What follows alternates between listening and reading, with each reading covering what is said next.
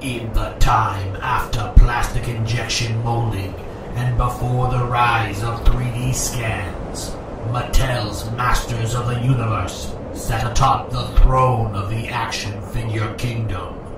Such success breeds those paying homage to greatness and pretenders to the throne. These are their tales.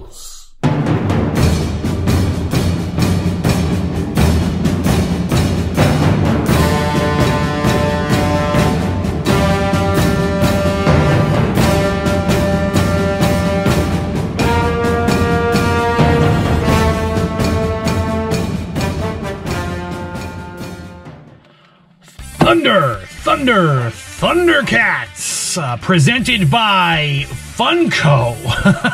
and uh, this is the Savage World Thundercats from, I want to say 2018 or 2019. I was able to pick up the first series. And then it was, it seemed like ages before the other ones even came out. I never did see the second series in the stores, but I have the complete first series of these figures, which includes your key characters, including this gentleman right here, Lion-O. Made in the Masters of the Universe style, the five and a half inch squatty buff ass figure. Here is Lion-O in all of his Lion-O-E glory. We have a vertical uh, box that looks a lot like the Masters of the Universe box. We have an illustration of Lion-O, and of course we have the, the figure. And you can see pretty much the whole thing. You can see his accessories come in a plastic bag behind him, and uh, there's not much else as far as packaging is concerned. And uh, yeah, the, the figure didn't break apart in the in the box. Um, imagine that freaking Mattel. Anyway, as we turn the box around, we're only looking at one box because they all look pretty much the same, with the exception of the figure that comes inside.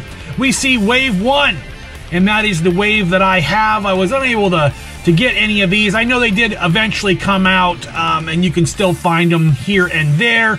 Uh, wave 1 includes Lion-O, Panthro, Mumm-Ra, and Slythe. Um, and, you know, the, the guys that you're really going to want to get honestly, it's going to be, you know, Lion-O and then Mumm-Ra and then down the line. Um, you know, everybody's kind of got their favorites.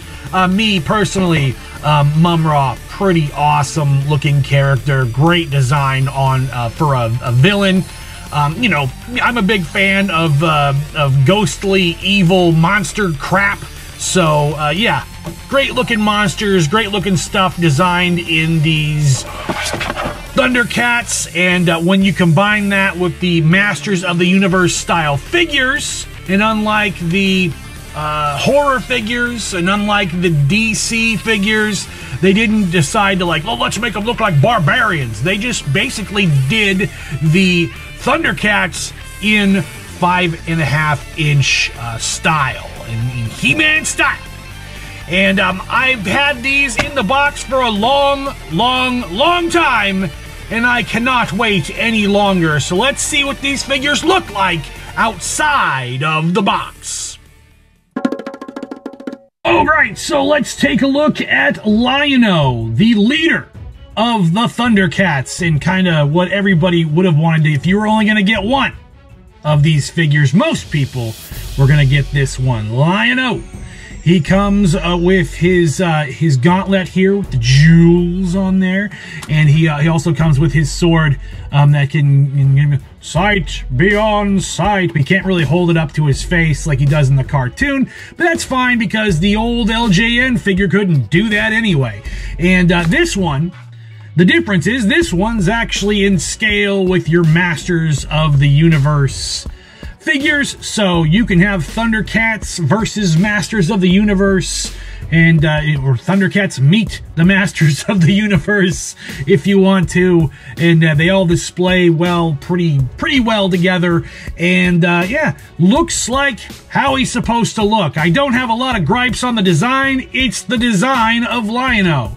It looks like him. It would be nice if they'd added an action feature, got his eyes to light up or something like that. But then again, these figures weren't very expensive. I want to say they were somewhere in between 10 and $15 at retail, so not too shabby. Um, they've got the, you know, the six points of articulation that you would expect them to have, much like the old school Masters of the Universe figures. I have heard tale that these are a little bit, uh, a little bit fragile and you want to be careful with the legs because the legs will pop off. Uh, so unfortunately, um, they're not as uh, playable or, or as uh, you know, you can't be as uh, wild and crazy with the posing.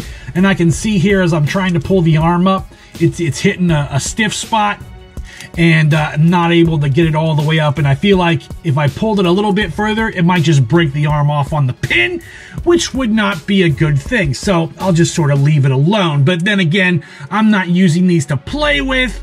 Um, you might pose them here and there and put them up on a shelf, and that's about what they're worth to me. But for a kid, you know, wouldn't be the, the best thing in the world to get. But then again, who, who what kid gives a crap about the Thundercats? Not too many, not that I can think of. Uh, but but that's Lion-O, and he's pretty cool.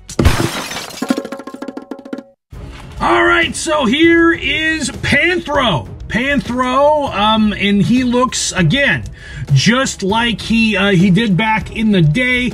Um, he has that you know that buff, squatty Masters of the Universe body is the only real difference in the you know his articulation a little bit different. I'm not I can't remember exactly what the articulation was on the old Thundercats LJN figures. I know they had a little clip on the back and you could their arms would waggle around and swing their weapons. And speaking of weapons, he comes with these nunchucks uh, that have little uh, back scratchers on them.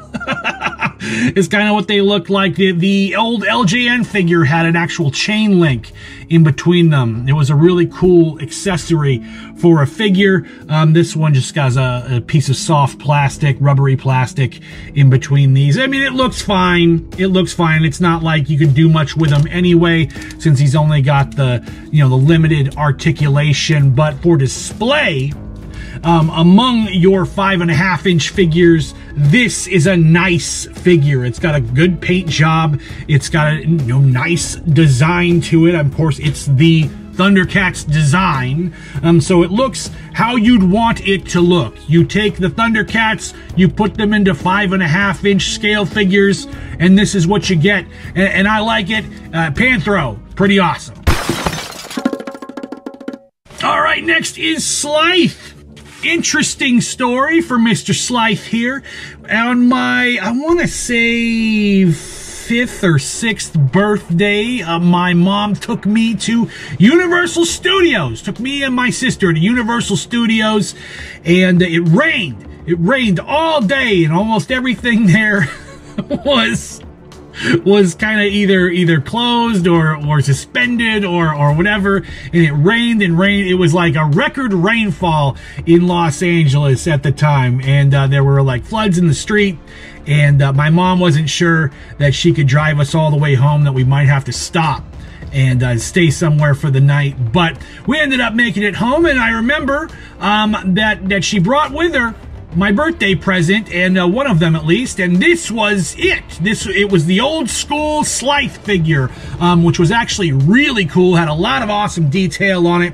This one's a little bit more simplified, looks a little bit more like a cartoon um, in as far as the color scheme is concerned, but has all the nice little details you might want on him. He's a uh, weird lizard mutant guy, and uh, he's got lots of cool little paint applications. It looks very nice. He comes with this big axe. Um, which is also very awesome looking. These these weapons that these things come with rival the the Masters of the Universe Origins accessories, honestly, uh, when it comes to paint jobs, when it comes to uh, just just sort of the little cool little details. You can see some cuts into it, like it's been used over and over again. It's got a big tail. Um, it doesn't move. It's not articulated. Legs are articulated. Waist is articulated. Arms and head are articulated. Um, but it the because the tail of where it is, it the, he's hard to stand up.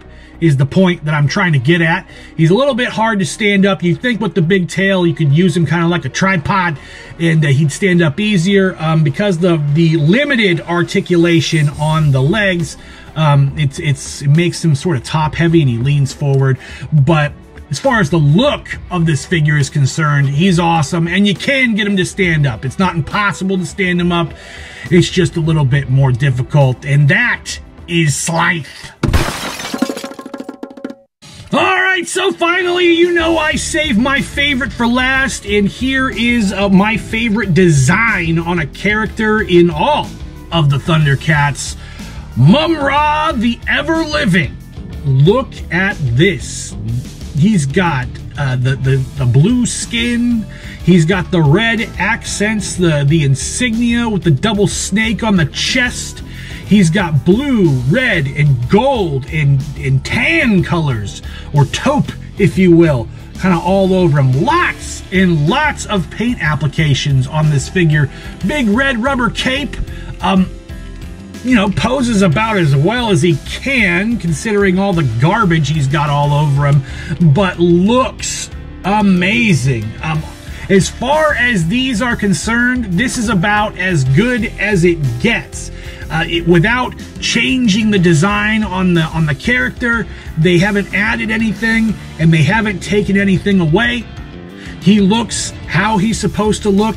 He has the the you know the the remnants of the wrappings. He has his his helmet with the double snakes pointed at each other. He has the gold, the the shiny gold, uh, the uh, gauntlets and uh, leg guards.